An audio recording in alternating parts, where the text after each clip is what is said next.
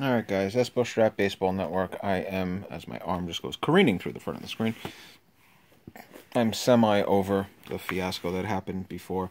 Um, so yeah, I was 29 minutes into the video, and as the video was going on, I was finished. I look up to shut off the video, and it says, unfortunately, your camera has stopped working. I thought, okay, maybe I just lost like the last minute or so and I could just do an amendment and splice them together. No, lost the entire video. Uh, infuriated is an understatement.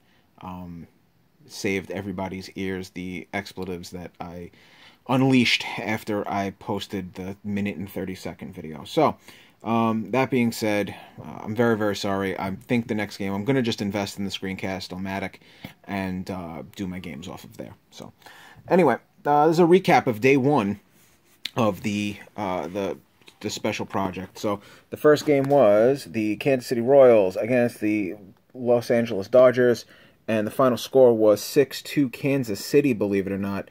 Uh, Bret Saberhagen picked up the win. He went complete game. He had four hits given up, one walk, eight strikeouts, two runs all earned. Um, looking over at Koufax, Koufax did not have a good game. Seven innings, five hits, two walks, five strikeouts, six earned uh, four, uh, six runs, four earned. The reason why only four of the runs were earned were McMullen, um, playing third base that game at a blistering 3E34, actually had two errors in the game. So, uh, not a good day overall. Uh, Kansas City jumped out to a quick 2 0 lead, tacked on four more in the sixth to make it 6 0.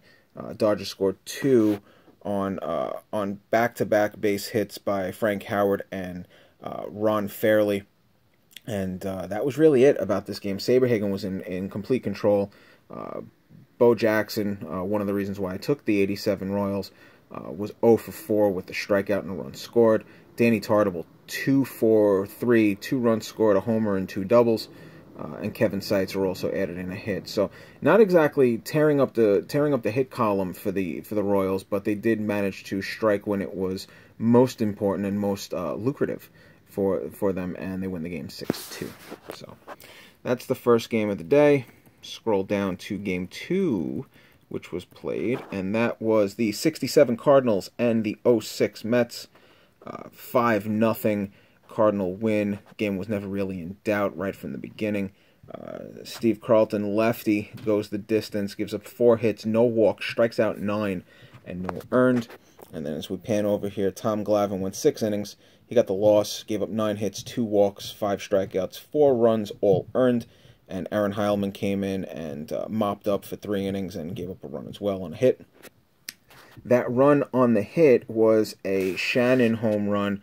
Uh, Shannon went uh, one for three with a homer and two RBIs. Tim McCarver started off the scoring for Seattle, uh, Seattle, St. Louis with a RBI double in the first inning, bringing home Lou Brock. Brock had a uh, stolen base as well in this game. He went two for five. So definitely, like I said in the beginning, it was going to be that Lou Brock and Rickey Henderson battle. And uh, so far, I haven't haven't played with Oakland yet. So Lou Brock right now has the stolen base lead out of the two of them. Uh, Bob Tolan was two for four with a triple and an RBI. And Orlando Cepeda added a single as well. Looking over at the uh, Mets, not really much to talk about here. Uh, Reyes had a single. Lo Duca had two hits. Uh, for a while in this game, Lo Duca was the only one hitting.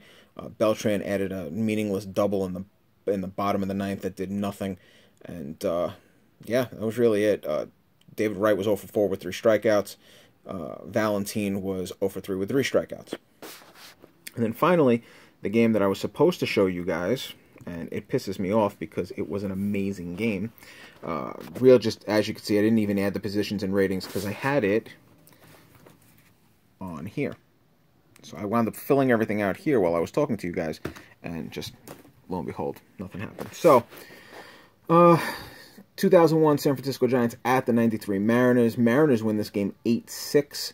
Absolute slugfest. Mariners jump out to a 4-0 lead. Giants tie it up. Mariners add a tack on in the third and three more in the sixth. Then Randy Johnson started to collapse as someone was playing awful music outside. Uh, added two runs in the eighth, and then uh, Randy Johnson came out, and Charlton was able to get the save. So looking at uh, the pitches in this game, Kirk Rueter, who gets the loss, goes five and a third. That's what the point three means. It's easier for me to uh, when I do the stats. You see 5.3. It's a lot easier to, to 0.3 is a third of an inning. 0.7 is two thirds of an inning. It just averages out better when I do the ERAs. Uh, five and a third, 11 hits, four walks, two strikeouts, eight runs, all earned. Chad Zerb came in to mop up, went two and two thirds, gave up two hits and struck out two. Randy Johnson, who gets the win. Look at this line: seven innings, ten hits, nine walks, six strikeouts, six earned, uh, six runs, and they were all earned.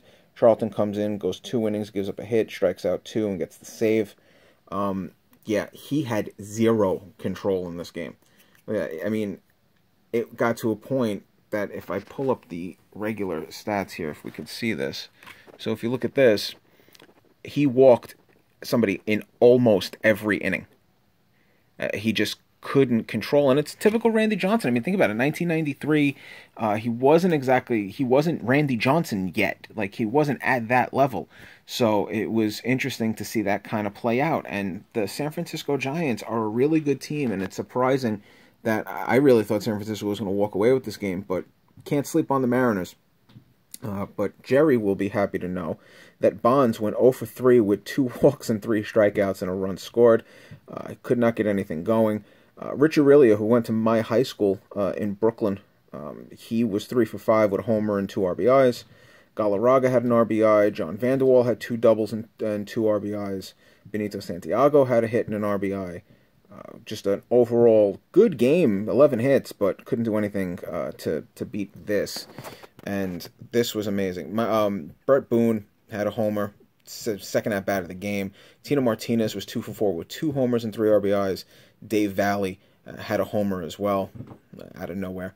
Um, so eight runs on 13 hits and one error, which was a two base error by Mike Blowers uh, at third. Uh, really didn't amount to anything as it happened in the, uh, let me see here, it happened in the one, two, three, fourth inning, and uh, nothing came across for the Giants in that inning. So those are the first three games. Uh, let me go over here to the next set of stats so we can take a look at this. So here is Seattle's stats that are in the game now and in my in the book and I'll go to the standings and after a while I will change how everything looks here. So it's a little jarbled, but Seattle, St. Louis, and Kansas City all won. They're technically in first. Uh, the Dodgers, the Mets, and the Giants lost. They're a game back, and everybody else who hasn't played yet is uh, a half game back. So the next games on the list are going to be, as I should have had this maximized to begin with. All right. So day two is the same three games. And then I have seven playing nine and eight playing ten. So seven and nine and eight and ten. Let's see who that is. So it's seven, Toronto at the Yankees, and we have the Reds at Oakland. Might show this if I can get it playing. I might show the um, this this Toronto and Yankee game. I think that would be kind of interesting. I think the first matchup in that is Figueroa and David Price, which would be a good matchup. Uh, the other game being Cincinnati and Oakland. Um, probably not the best matchup in the world to kind of showcase, but uh, if not, then I'll probably go to the uh, go to one of the games that I played earlier in the day. Probably the uh, what was the second game that I played the other day? Probably St. Louis and the Mets. So that being said, Espo Strat Baseball Network, keep rolling, and we'll talk again soon.